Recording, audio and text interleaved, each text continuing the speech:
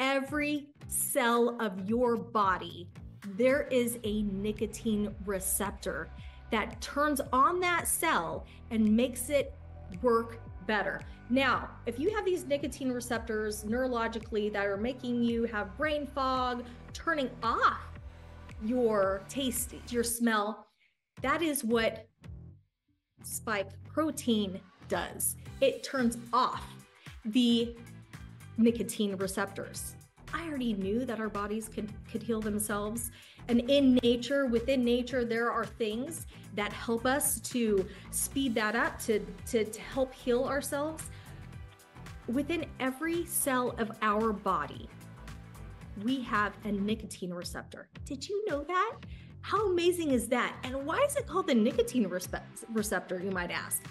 Because nicotine actually turns it on.